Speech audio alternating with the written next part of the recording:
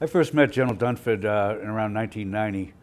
Uh, I'm a graduate of the College of the Holy Cross, and uh, I go up there occasionally to talk to the midshipmen and the students. And uh, I was up for a golf uh, um, fundraiser up there, and I walked into the ROTC spaces up there, and I met this young Marine uh, major. Looked like he just stepped off a recruiting poster, and it turned out to be Joe Dunford. I said, I introduced myself. He said, yeah, I know who you are. You went to BC High like I did. So we became, uh, we bonded and became friends after that.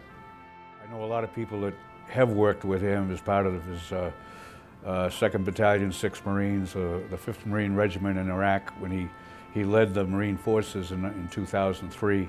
And he was there every step of the way. He had their back.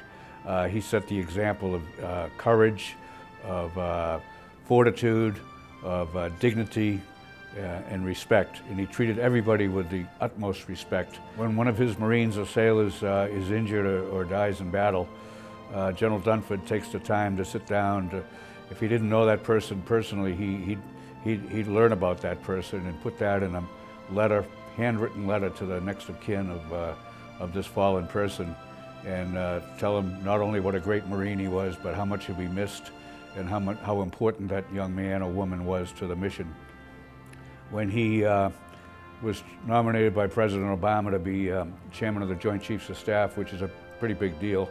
Uh, all the Marine websites said, "Hoorah, hoorah, Joe," and he never even put it on his uh, Facebook account or his Twitter account. It's the kind of guy he is, self-effacing, uh, humble, uh, one of the guys, really. I was a recipient of this award uh, two or three years ago, and so I'm very, very proud of that. And I'm just very delighted that BC High chose to honor General Dunford in this way.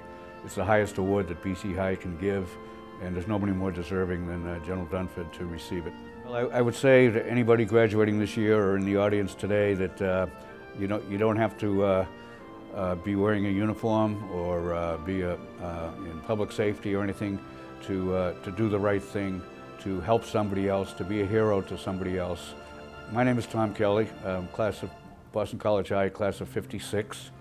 Uh, and I'm very, very proud as a former recipient of the St. Ignatius Award to be honored to be representing General Dunford today as he receives that very, very prestigious award.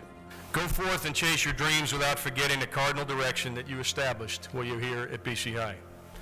Regardless of where life takes you, commit to selfless service, to being part of something that's bigger than yourself. Have the moral courage to stand up for what's right and just. Take the time in your daily life to serve in a way that matters, in a way that means something to you. In the end, perhaps inspired less by the specific actions of Father Belcher, Father Hicks, Father Mahoney, Brian McPhillips, or Tom Kelly, but more by their spirit, be a man for others. Once again, ladies and gentlemen, thanks for the privilege of joining you today. Uh, for the class of 16, God bless you all in your future endeavors, AMDG, and Semper Fidelis.